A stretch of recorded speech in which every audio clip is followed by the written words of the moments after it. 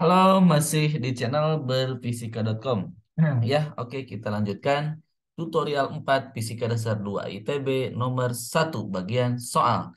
Jadi pastikan eh, teman-teman selalu ada di channel ini karena nanti eh, soal-soalnya akan dibahas tuntas ya dari nomor 1 sampai nomor terakhir ya. Nanti sampai nomor 10 eh, akan dibahas tuntas-tas ya. Oke, kita baca dulu soalnya seperti apa. Eh, sebuah elektron yang memiliki kecepatan. Nah, ini kecepatannya ya, eh, ada arah komponen I dan arah komponen J ya. Bergerak pada daerah bermedan magnet seragam B ya. 0,03 I ya, Tesla ya 0,15 Tesla J. Pertanyaannya adalah A, tentukan gaya magnetik yang dialami elektron. B, ulangi perhitungan di atas untuk proton dengan kecepatan yang sama ya. Oke, eh, kita akan coba membahasnya ya. Oke. Nah, gaya magnetik ya, gaya magnetik. Gaya magnetik ya. Nah, gaya magnetik itu seperti apa, teman-teman? Gaya magnetik itu dapat kita formulasikan seperti ini. Muatan dikali V cross B. Ya. Jadi teman-teman harus mengingat tentang perkalian cross ya. Nah, ini kan ada V, ini ada Vx, Vx dan V ya. VY, Vx, VY ya. Berarti gimana? Berarti kita harus menghitung perkalian crossnya dong ya. Berarti FB-nya adalah Q V cross B. Nah, seperti itu. Ayo kita coba perkalian crossnya. V cross B. Nah, seperti apa? Nah, gini. Jadi ini tulis dulu I J K. Nanti ada Vx, Vy, Vz, Bx, By, Bz gitu ya. Jadi perkalian cross teman-teman harus diingat kembali ya di dalam uh, matematika ya, perkalian cross gitu ya. Oke. Nah, yang pertama kita ingin mencari uh, nilai dari arah itopi atau vektor satuan i. Nah, caranya gimana? Teman-teman tutup yang i-nya tutup. Nah, ini tutup. Berarti sisanya yang ini. Nah, sisanya yang ini. Nah, berarti kita uh, pakai determinan ya. Berarti VY BZ ya. Berarti VY dikali BZ dikurangi nah, kan VZ BY. VZ BY. Nah, seperti itu ya. Nah, yang kedua kalau dia eh, kalau kita eh, ingin mencari yang J topi berarti minus teman-teman ingat ya, minus. Jadi eh, hasilnya nanti plus min plus seperti itu ya aturannya. Nah, untuk yang J, teman-teman tutup yang J ya, tutup J, berarti kita punya PX sama BZ. Berarti VX sama BZ min determinan ya. VZ BX. VZ BX. Arah J topi. Ditambah, sekarang K-nya. K tutup, yang arah K ya. Seret-seret gitu. Berarti sisanya adalah VX BY. VX BY dikurangi VY BX. VY BX ya. K topik. Seperti itu. Nah, berarti gimana? Ayo kita coba dituliskan ya. Ayo, berarti masukin saja nilai-nilainya. Berarti Q-nya tulis dulu Q ya dalam kurung VY BX.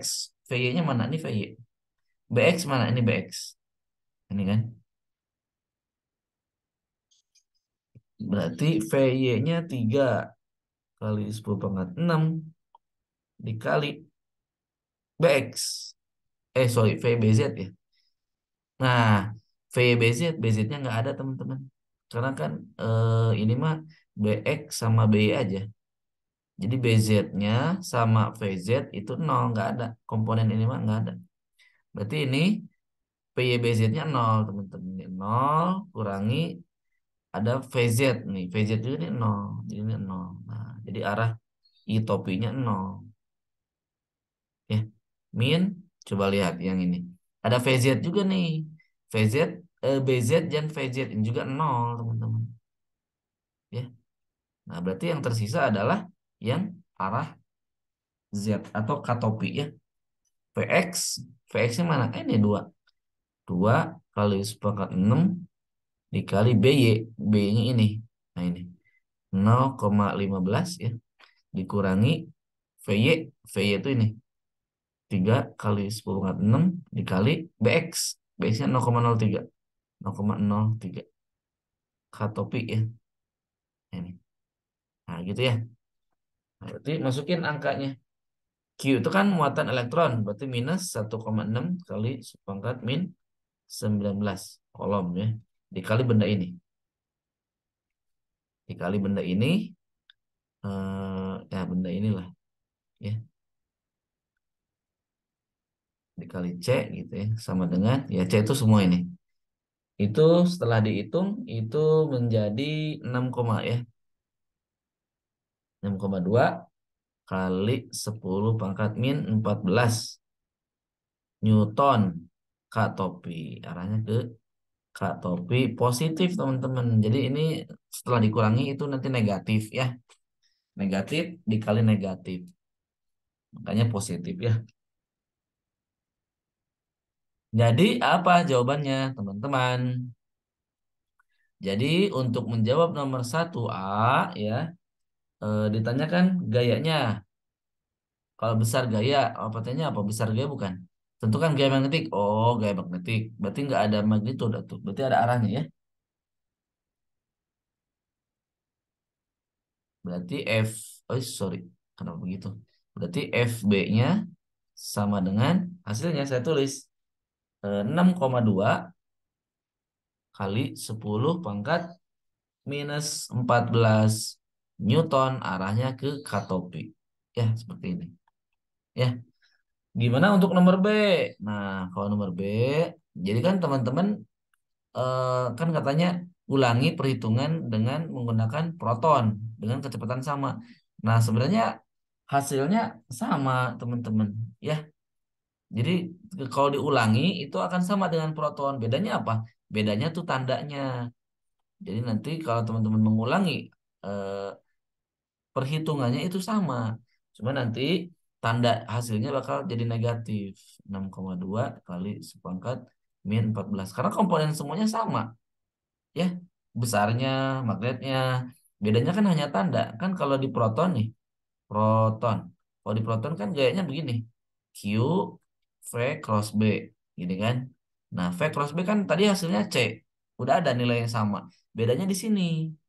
Kalau proton keynya positif. Jadi teman-teman harus mengalihkan nilai positif dengan yang di sini yang C itu yang V cross B. V cross B kan tadi hasilnya negatif.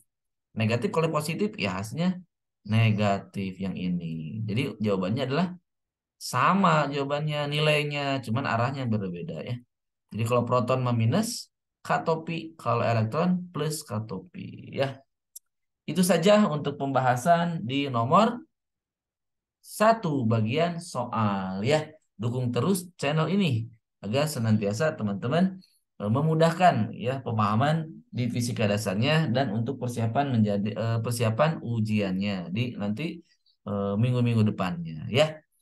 jangan lupa subscribe dulu ya guys. Nah, bagi teman-teman yang kesulitan atau butuh pendampingan di musim-musim UTS seperti ini kan agak krusial. Teman-teman butuh konsultasi bebas kapan pun di kantor kita, ada live chat, ya, ada nanya PR bebas. Silahkan saja teman-teman WA ke nomor saya ya. Nomor ini. Silahkan bertanya. Nanti kalau solusi tutorial mah aman ya, lengkap. Ya, matematika, fisika, kimia aman, lengkap, PDF-nya full. Ya, jadi yang ini udah selesai PDF-nya. Jadi teman-teman eh, silahkan nanti segera dikontak nomor ini ya. Oke, itu saja yang dapat saya sampaikan. Tetap semangat. Sampai ketemu di soal-soal berikutnya. Sampai jumpa. Salam berfisika.com.